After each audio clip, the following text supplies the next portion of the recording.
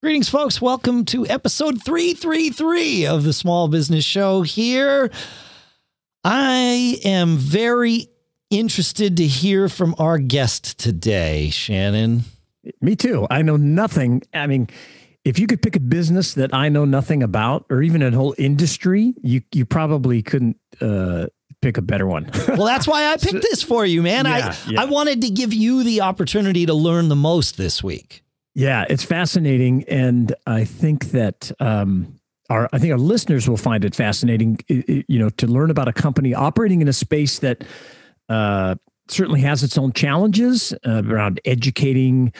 Um, you know, their customers, individuals around them that may not be customers, municipalities, states about legality issues. So uh, they have the work cut out for them, and they've just done an incredible job at design and the, the, the whole way they present the product is fascinating. I it's love it. Fascinating. Yeah, you're right. The, the stigma a, around their industry, quite frankly, is the reason they exist, which is really a, an interesting story that you'll get to hear uh, yeah. in just a minute. In fact, so yeah, there you go. You got anything else to uh, to say before we get going here? Oh man, I'm I'm ready to small business and learn about this, and I guarantee you this will absolutely be the show where I learn the most because I'm just coming in blind here. you might be right about that. I'm not that far behind you, but I think I think I'm I'm a little or that far ahead of you. I don't know. Is it behind or ahead? It doesn't matter. Listen, uh, folks, it, there are a few little f bombs that that are dropped in the episode here. We're leaving them in because it keeps things authentic. But we just wanted to let you know the uh, the explicit flag, of course, is flipped for this in Apple Podcasts as well. I'm Dave Hamilton. He's Shannon Jean, and this is episode 333 of the Small Business Show.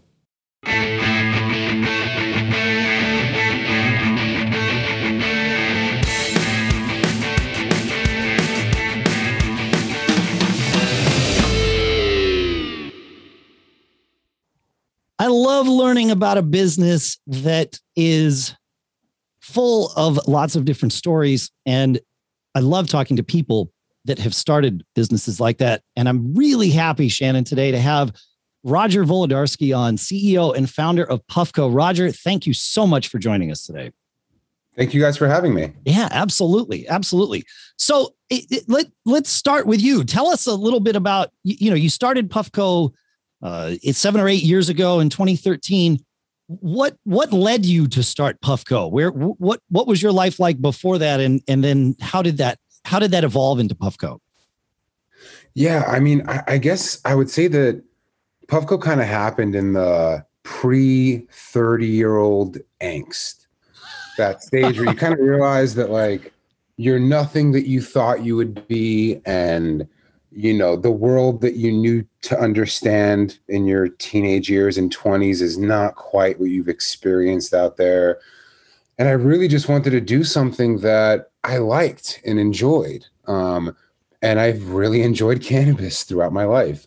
Um, in new york it has been very illegal to consume cannabis uh, for a long time. Sure. i have a couple of, of light cannabis arrests on my record. It's a very unpleasant thing to go through. And in 2012, concentrates had hit the scene in New York, concentrated cannabis.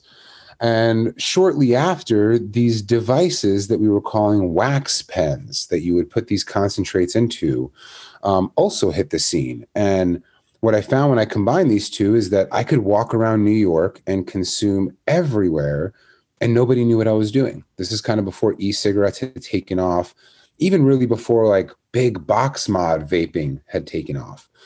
And I felt free to just consume and walk around the city and enjoy life the way I wanted to. And I started putting all of my friends on, helping them get devices like this. They would break on them, I would help them troubleshoot. And eventually, after this became like kind of a headache for me, a friend was like, Why don't you try creating your own company? You're really passionate about this and maybe it can work out. And I am not an engineer, I have no experience in product development. Um, I literally knew nothing of what it would take to get here. And that was the exact type of ignorance that was necessary to start this journey. Um, and that's kind of how it got started. That no, I, I've always said starting a business that you know nothing about means that you're probably going to hire smarter people sooner uh, than than you might otherwise do. If you think you know everything about it, you, you know you can save a little bit of money and maybe try to do it all yourself. but what, what Roger, what was the first product uh, that you know that you brought to market or developed or got out to your friends um, with with Puffco? So the first one was uh, something that most people have never heard of, and that was the Puffco Classic.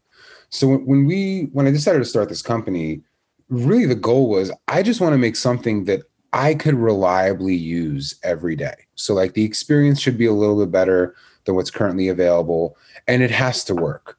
Um, and so we made the Puffco Classic with that in mind, and as soon as I got it and used it, we, we got this first purchase order, and I had this very real moment with myself of like, is this really that much better than what's in the in the market? And the answer was yes, but it wasn't a leap. It wasn't something that was a huge jump from one standard to what will become the new standard.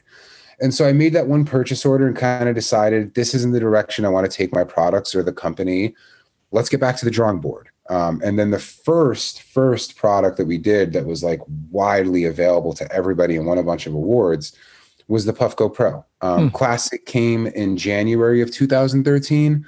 Pro came out um, October of 2014. I'm sorry, have those dates wrong. Uh, Classic came out January of 2014. Pro came out October of 2014. Got it.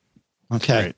Wow. So you iterated really fast on that first design of the of the classic to get to like you said that sort of leap up to the pro yeah it, it wasn't rocket science so for for me the the things that were most important were I wanted to be able to control my temperature within the device. They only ever really gave you one setting before then.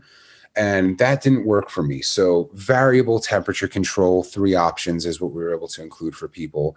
Larger capacity the all existing market options before ours had really small loading chambers and i would constantly have to be refilling it. I just didn't want to do that anymore. So i put that in there. And then they were using fiberglass wicks um, to wick the oil and help it vaporize. And i decided to use a porous ceramic instead of it because i had read that it could taste better and was very, very, very ignorant back then, looking for any sign of anything that would make my experience better. So while yes, that's not a very long development time compared to what we currently go through, in those 10 months, I hadn't really changed the shape. I had changed how the device worked. Sure. And the Puffco Classic and the Puffco Pro, definitely you could tell the difference apart, um, but they looked very similar. Yeah. Okay. That make that makes good sense. Sure. You you just you, you got it. But you were. I mean, even as you're telling the story, certainly you were building this for your customers but really you you you know customer number one was you. You you built this thing and these things so that you could do the thing that you wanted to do and that you enjoyed. And it turns out there's other people like you. Absolutely. I mean every product we have made um, so far has really been just to make my own experience better and I keep adding people to the company that share that vision. They also quickly become as obsessed about cannabis as I am. And then they see these opportunities right along with me of, yeah, it would be easier if it did this, or I would have a more fulfilled experience if we did that. And so that's typically who we're trying to impress. Uh, we're trying to impress ourselves. Um, I love that. It's great. Yeah. It, it, just makes so much sense no matter what you're doing. Uh, and it, it just you know it really resonates with me that you're you're building these to make your own experience better and you're bringing everybody along with it.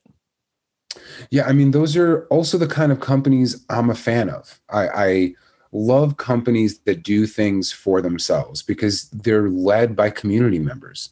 And when people are just making stuff for the sake of making it and having a successful business over having a successful experience as a brand buyer um, for many different brands, that's felt by me. I want people that do stuff where you're asking yourself, how did they think of this? How did they know that I wanted this little pocket in my jacket where my keys are always falling out of, but now it's there perfectly? When when companies are led by community members, you really see a, an experience that's reflective of the community and we don't ever want to stray away from that. We never want to start making things just for the sake of having a successful company. We want to constantly improve our experience. And that is where every product idea comes from for Puffco. You before the show, you uh, the three of us were talking about how we uh, all use Apple products and and at some level at least are all fans of of Apple. Y- you at Puffco and what you're describing here, uh, even before we had this conversation, just looking from the outside in at you know both your sort of the way you present yourself but also the way you present your products and the the unboxing experience and all of that you you definitely to me it felt very apple like you know you take something that could be super confusing frankly that is super confusing and you take the confusing out of it and you just make it super uh, it, and and you it, like now i understand why because you're doing this for yourselves as much as you are for other members of your customer community to that end, are there a lot of product ideas that you wind up saying no to internally because they don't meet that standard?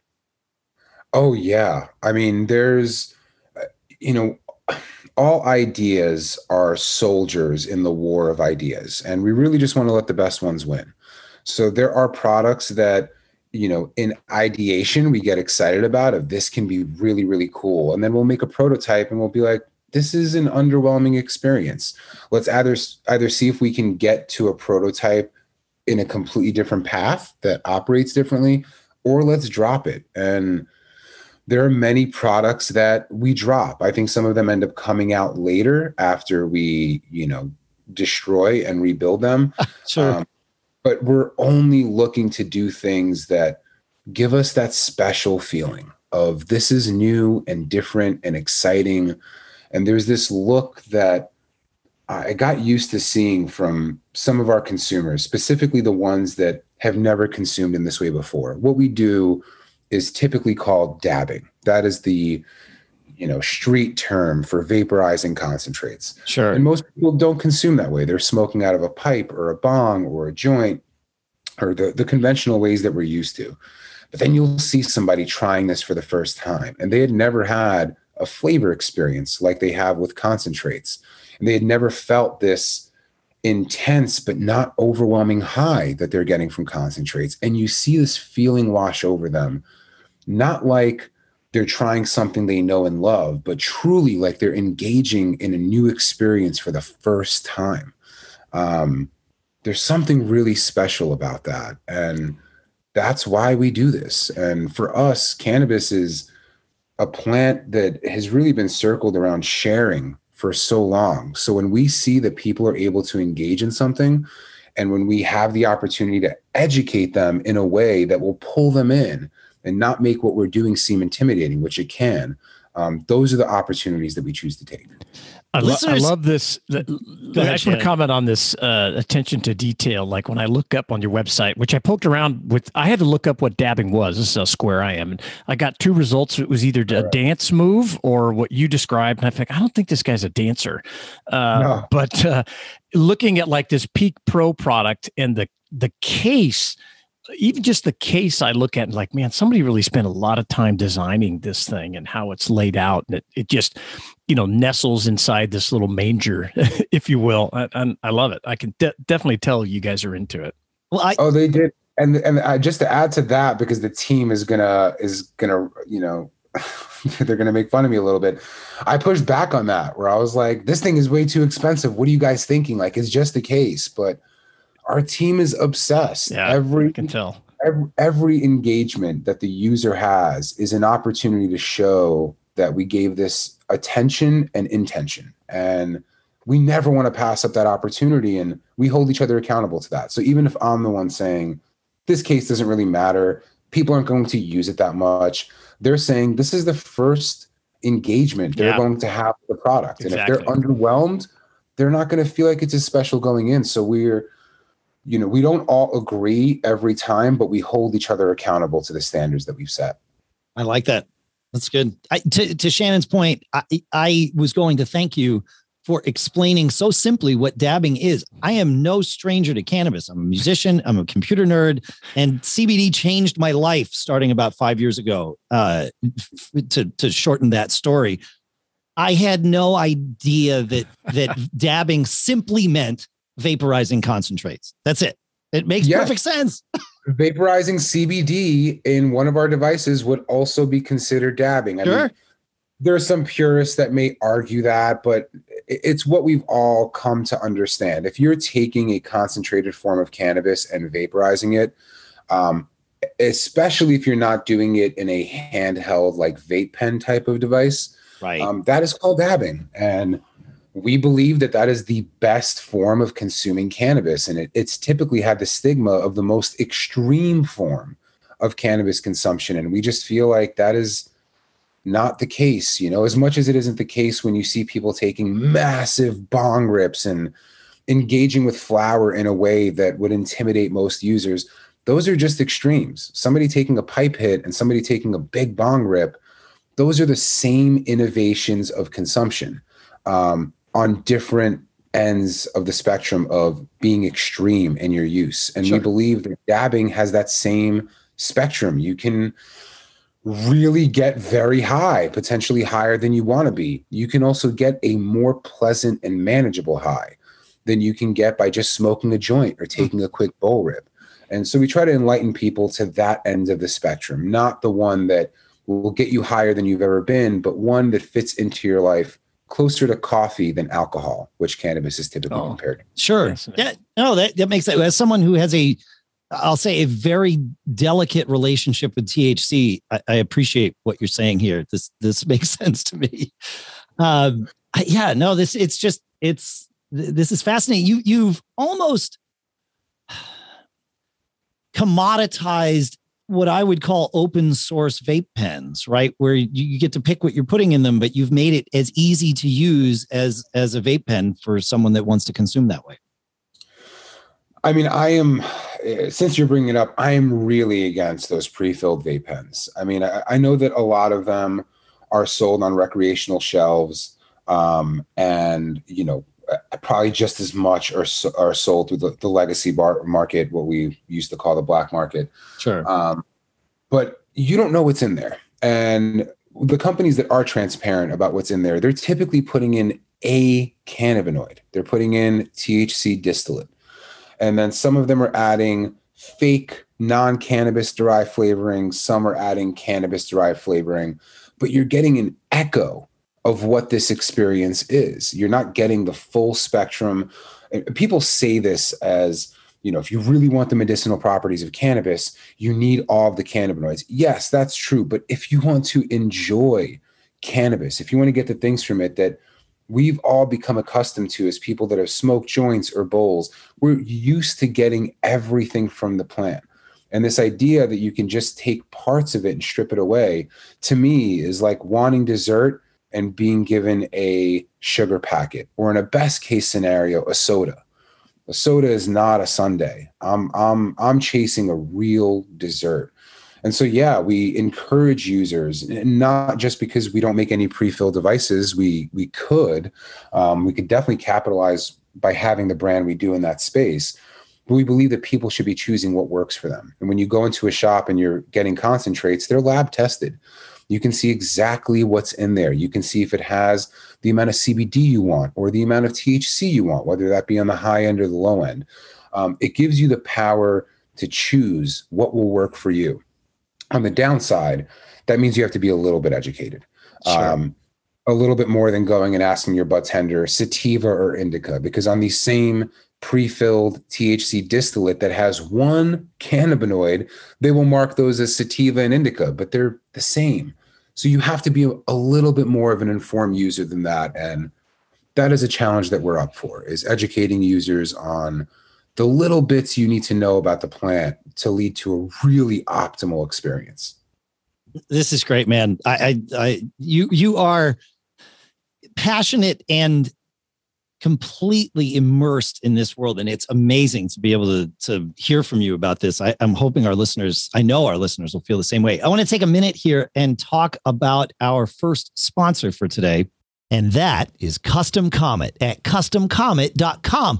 Custom Comet is a Portland based company that makes custom merchandise and promotional products like air fresheners, coasters, coffee sleeves, patches, pins, stickers, and more. Their most popular product is their air fresheners. In fact, they sent us some of these with our logo on it. Now, that was before we changed logos. And so it, now it's time for us to order some more. What's cool is we can order those with our own shape because Custom Comet is one of the only companies that creates custom shapes for every order. Most companies only allow, to, allow you to use like 10 or so stock shapes, not Custom Comet. They let you do any kind of shape you need. So we could, you know, shape it like around our new logo and really make it look like ours. And that's the idea. We can also make it smell like ours because they've got over 70 different scents and 17 different string colors. And their air fresheners use this cool three layer process. They've got this absorbent cotton core that sucks up all the fragrance, and that's sandwiched between printing paper to give you that crisp, high quality art. Most custom, custom merch companies print on a single piece of absorbent cotton and it gets all fuzzy and distorted. Not these, man. These look fantastic. They offer a number of different retail packaging options too if you're planning to sell them. And they make a great really unique promotional tool to give out at conventions, events, or even to existing and potential customers. What separates the folks at Custom Comet is that they have a focus there on using high quality materials and stellar customer service. We all know every business is the customer service business. Custom Comet knows this too. Custom Comet is also a company that was founded by artists and graphic designers and they're able to provide free design help because of this talented team of designers that they have based here in the US. They'll do everything to make sure your project looks great. In addition to that, go to customcomet.com, but make sure you tell them that you heard about Custom Comet here on the Small Business Show, and they'll give you 5% off your first order. So go check it out, customcomet.com, mention the Small Business Show, and they'll get 5% off your first order. Our thanks to Custom Comet for sponsoring this episode. All right, Roger, you mentioned earlier that you say no a lot to products. Do you happen to have a favorite one that you said no to over the years? Uh, that's a great, great question. Um, yeah, I mean, like the most recent one that I said no to was a cleaning kit, you know, and that was an easy one. Um, the re- so for for our device, the Peak and the Peak Pro, um, these are dabbing devices. They're handheld. They fit in a cup holder. They don't fit in your pocket. Um,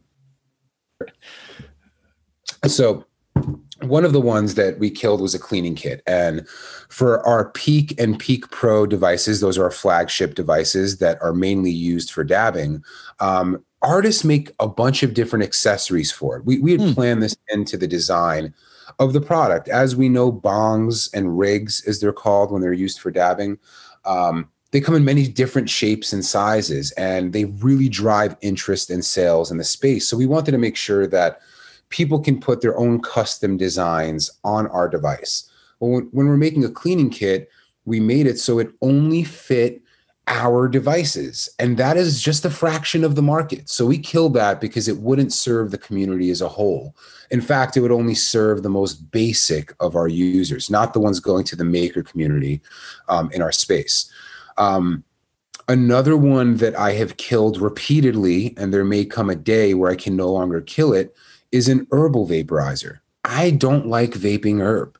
Um, I would prefer a joint, um, maybe a bowl. Bowls can be a little bit harsh, but I don't feel like I get what I need when I'm vaporizing through any herbal vaporizer I've ever had. And we believe that concentrates are the best experience anyone can have.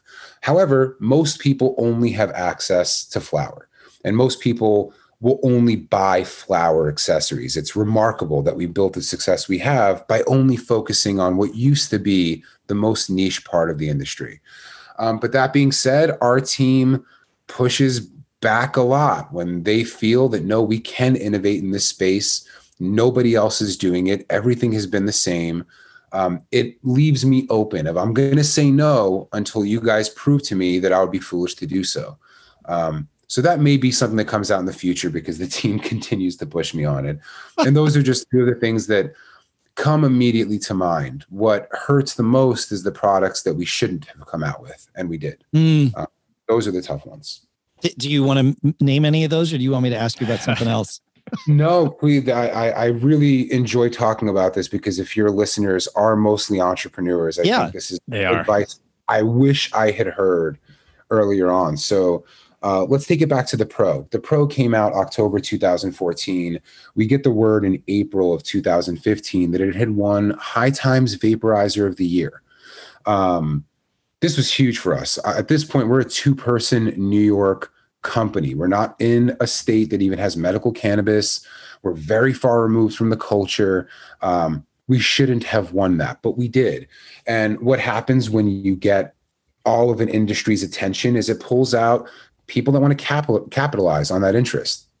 And so we started getting copied within months. Um, people trying to come out with stuff that looked exactly like our product. Um, shortly after that, we lose our supply chain and we're not able to make any more of this product without activating a new factory. And that takes a long time. And so I had to make a decision at this time. Do I want to fight really hard, use our resources to reestablish the supply chain and sell something to people that is starting to look like a white label product, like something everybody is selling, and we're just one of those people? Or do I want to go back to the drawing board and create something absolutely new?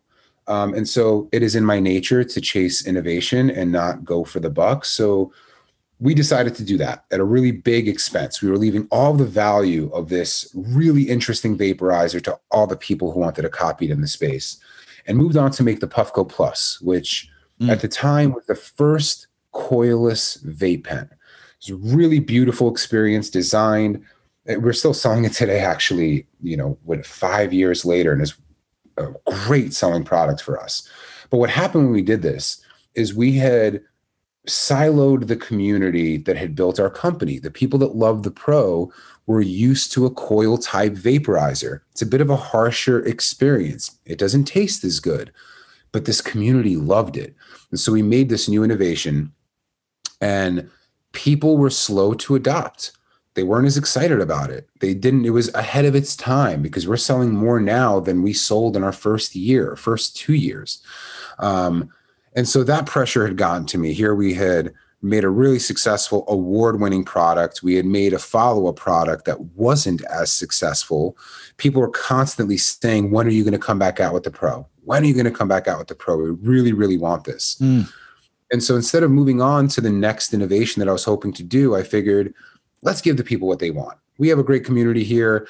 They're asking for this. It's not something I would ever use, but we can't leave them high and dry. And so we made the Puffco Pro 2. Um, it looks similar to the Plus, but it had the function of the original, a little bit smaller and more compact, um, a little bit more room in the chamber. Like we did our best to innovate minimally, but it wasn't it wasn't something that we loved. And it was successful. That product made us millions of dollars. Like it did very well.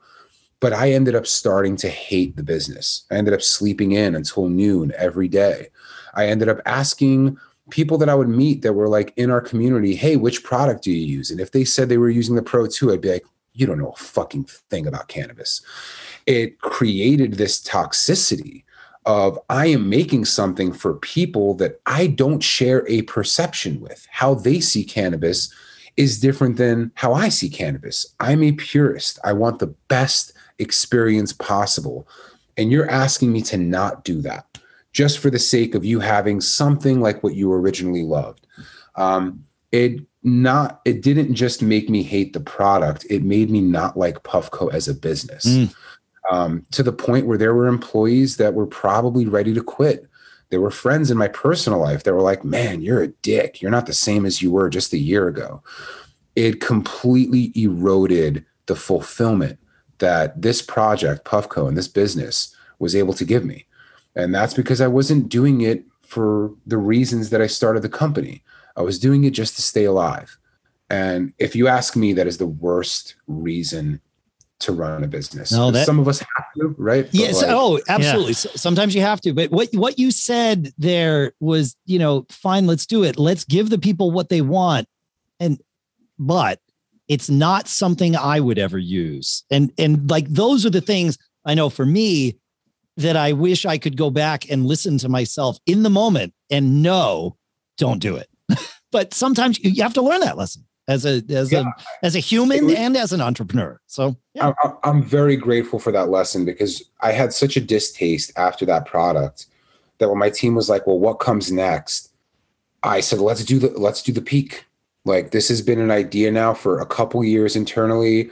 It's a really big effort. It's very far away from what we're used to doing. We're a vape pen company. We're not really used to making shapes and other designs and starting from the ground up. We've been very lucky to at least have some of our parts be existing market options. Sure. Uh, but it gave me that stomach to say, I don't care if this next project kills the company. I'd rather have a dead company that tried to do something great than a company that is alive doing things that I have no interest in whatsoever. Um, so it was a great motivator. It, it, it pushed me to do what served my original reason for creating this company.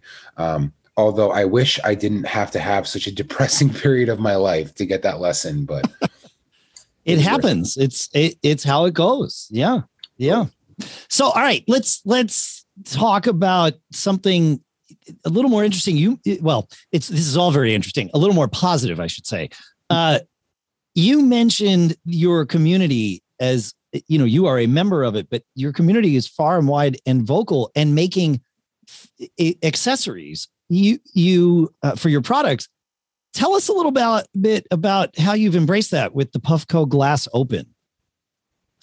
Yeah so this was actually a thought uh, before we even announced or released the product. Um, we saw two things as being really important to be successful in the space. One of them is the experience of vaporizing needs to be world class. This has to be something better than not just every current vaporizer on the market, but almost as good as the analog way people are doing things. At the time, a lot of people were torching bowls and putting a timer so they would know when it was cool enough to use. Mm. Really, really intimidating. Not something that people were very into. Sounds unsafe.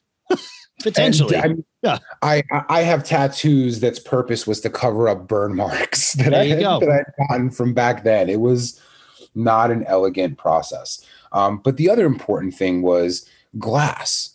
I'm a massive fan of, you know, there's many different names for it. Pipe making space. Um, many call it functional art.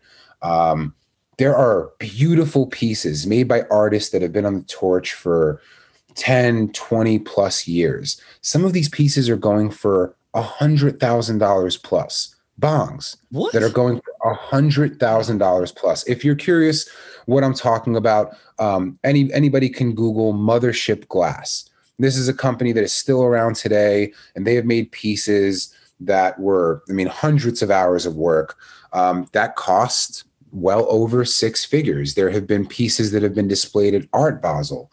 Um, there are it, it is the most innovative community in cannabis. When we talk about um, torching these bowls, right? That whole concept came from glass blowers that were looking for ways to vaporize hash that just didn't exist. And so they made these shapes. And what we knew we were going to do is we're going to come into this place, into the into this space rather, and we are going to innovate and disrupt. Our intention isn't to disrupt because we're fans of the industry and the community that we're disrupting. And so the only way to do this in a way that we will be able to sleep at night is by making sure there is an opportunity for the creators in the space to create on our platform hmm. and not see it as something that is going to get in there, disrupt their business, and take the value of the space away from them, but in fact, give them a new channel for um, creating products and expressing their creativity through.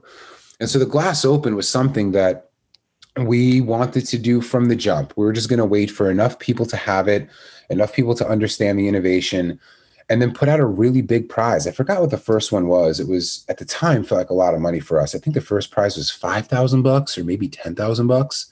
Um, that's a lot of money. For, that is a, that's a lot of money. No matter how much money you have, it's that's a lot of money. Yeah, yeah for making a glass piece. And our goal was we we don't want the artists that do this to be the artists that are selling pieces for a, a, few hundred bucks. It's great to have them as well, but we really want to incentivize the best makers in the space to take a crack at this. And so the glass open was our way of bridging our vision to the people who would benefit from it. Um, and we did two of them. We have one coming at the end of the year. It is Huh. one of the funnest campaigns we do. And we typically lose money on those. We're not really doing it for any reason except for to keep creativity and innovation bubbling in the space. So cool. That's a, that's amazing. The, the fact that this was in like you know to your point earlier, attention and intention, right? Like this is an extension of that, where you, you thought about this ahead of time before the product came out. I think it's great. I think it's great. So, you know, Roger, uh, it- it's very clear that you're really a champion behind, you know, uh, Puffco and uh, and this space. As you built this team and started to expand, how did you, or if, if you could just speak to the the experience of bringing people on that also had that same passion, because you know you're looking for designers and logistics people and this and that and and did you find that um that was difficult or did it just attract a certain type of people Um, definitely difficult. Um, the hardest part of a job of the job. Somebody told me a long time ago that a CEO has three jobs. It is vision, money, and people. Got to have vision. Got to keep enough money in the bank account. Got to get the right people in the company. The first two have been pretty easy for me. Um, people is by far the hard, excuse me, the hardest part of the journey. Um, and I, I think I'm just getting okay at it now. Honestly like our head of product development who started as a lead engineer um, avi you know in his interview i about two minutes in we're like hey man listen i'm really just doing this based on vibes so like i'm good to go. Why don't you ask me any questions you have? And it was very off-putting to him. The person who connected me with him who's a consultant that we hired as soon as i got on the phone with him i was like i have no questions for you ask me whatever you want to know, but I am ready to get to work. Because in my mind, I could do all the vetting I can beforehand, but I'm not going to know the true value of this relationship until we're in and building together. Yeah. Um, and at that point, I didn't realize that you know my asking questions was just another form of selling them on the company and showing them what I value. Um, but I continue to chase a vibe. I care that we are looking at the world through the same lens. Um, that we both have the same value system. At Puffco, we want to make sure that all of our opportunities feel safe and have the opportunity to be fulfilled. That is just what we value. And I want to bring in like minded people. Some mistakes that I made early on, especially when I had imposter syndrome, is bringing in people that would act like they have all the answers and potentially make me feel bad about not having all of the answers. And that fed my imposter syndrome. I'd be like, shit, I don't believe in myself. You don't either. Great. You must know a thing or two. Um, that's a that's, like- that's a good way of dealing with it. Yeah, for sure. I I mean, it's it's it's when you want help and you don't believe in yourself. People that seem to know a bunch but also don't believe in you are weirdly attractive, um, or maybe they did believe in me and I I just didn't feel that. Um, so for me, I care that we are vibing. I care that when we're talking, we're losing. We're not looking at the clock. We're not measuring anything except for how excited we are to align our perspectives. Um, literally vibe chasing, and that is not anything that I I think would help anyone out there. Um, you know, they're all qualified, but there's a lot of qualified people out there that will come in and erode your company culture. Oh, and make you absolutely. feel bad about yourself. So for me, the one KPI that I care about most is how do you make me feel? If I feel good about talking to you, do I inspire you? Do you inspire me? We're looking at the world through the same lens. And if not, um, it's going to be typically hard to advance them in Puffco. And we feel like if you're noticing that in the interview and you're thinking, well, I can build, I can build them up. You can give people information, but you can't change the way people feel about this world. And you really have to bring them in already aligned with you, educating them about cannabis, educating them about company culture. That's all easy. But if they're looking through the same lens that you are. Yeah. No, that's that's Terrific. I, I I think that advice will help a lot of people here. uh, Um, uh, it, to the contrary, I, I think it. I think it's really going to be helpful to folks because because that's like you said, the wrong person bringing the wrong person in can kill your company. I, and I've certainly been in that scenario and watched things going in the wrong direction and had to, you know, unravel a lot of stuff. And I, I think Shannon, you've been there too. So it's oh yeah, you can't teach personality. You can't teach. I think Roger, what you know, you refer to as their vibe. you, you can sure. teach them if they're if they're uh, somewhat uh, you know intelligent. You can teach people to do just about anything. But that how you are when you work with them each day and uh, being aligned with what they believe in, that's tough. I mean, the way the way we make each other feel is probably one of the most important things in this lifetime that we're given. And I recommend everybody look at that when they're measuring these relationships. That you know, people that they're trying to bring in, people that they're trying to use to bring themselves up. Um, that is one of the most important feelings. I think about our first major operations hire and you know, I was very nervous about this guy, and he had worked for Beats and Toshiba and like really massive organizations, and we're just like this small little vaporizer company. And I remember like he called the meeting about company culture, and all of us were so scared. Like this guy's gonna come in and tell us we're just a bunch of kids that don't know what we're doing, and we need to act like adults. And instead, he sat us down and had us say what we love about the culture, and he was like, "Great." we are never going to stop being this. And we're all like looking at each other like, wait, what? We're so young and disorganized and don't know what we're doing and like trying to figure this out. You're telling us to be more of what we are. And he helped us identify that we're curious and we're passionate and we don't turn to anything except for our shared perception on what is ethical and right and worth time. And he built us up. He this opportunity where we felt like the adult in the room was going to make us feel like even smaller kids they lifted us up.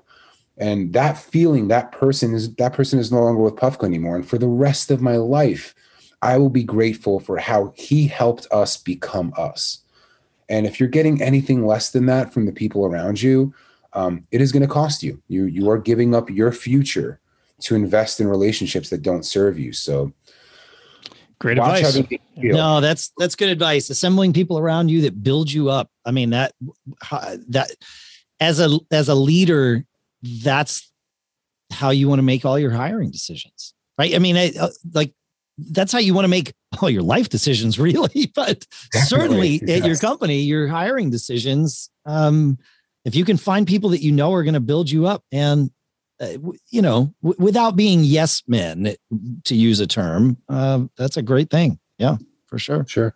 Yeah. Thank you. Awesome. Roger, thank you so much for taking the time with us, sharing all of uh, all of this information, all of your stories. Is there anything that we haven't asked you about that you want to uh, share with our audience? And if not, tell everybody how to find you, please. Yeah. Um, now that I think about it, yeah, there is something I would like All to right. share. Um, you know, I, I'm assuming that there's a lot of entrepreneurs listening to this, and that many, if not all of you, are capitalists. Um, we have a lot of people in this world that are here to make a buck. Um, there's no shortage of them. If you are investing your time and your life in your business, let it be one that you're extremely passionate about see it as a canvas for your own self expression. If it's not that, if you're just there to turn a buck, it is not going to make you feel great. And that is a projection. It doesn't make me feel great to chase a dollar, it makes me feel great to chase an experience. So please be the entrepreneur that is choosing to chase an experience that values humans over profits. There's not enough of that in this world. And we see more people like that popping up every day but we need a lot more of them. So please be an entrepreneur that changes the world and lives for the better. Um, if I can leave you with anything, it would be that. And um, if you're going to consume cannabis, why not go to puffco.com and choose one of our awesome devices? That's great. Well said on both counts, my friend. Again, thank you so much for joining us. Roger Volodarsky, CEO and founder of Puffco. So great to have you on the show. Thanks again, my friend. Yeah. Thank you Thank you so much. That was pretty cool. You know, I, I know nothing about that. I'm, I'm not a cannabis user, CBD, that kind of thing. Uh, but I, I, you know, I, I'm happy to support a successful business person, and I love his take on things, and I really respect their. Uh, their framing of the product it's super professional the design uh, aesthetic is is just beautiful and i love you know learning more about it yeah that that that was the thing that sort of sparked my interest i i ran into them virtually over the last year at one of those pepcom i think it was mm. a pepcom event these they're these things that used to be in person and probably will be again uh, where you know it's it's speed dating with the press, if you will. I see. And uh, and they were at one of these tech focused events because a lot of their devices are Bluetooth, you know, controllable or configurable or things like right. that. And so I I dug in to that because Apple has really pushed away.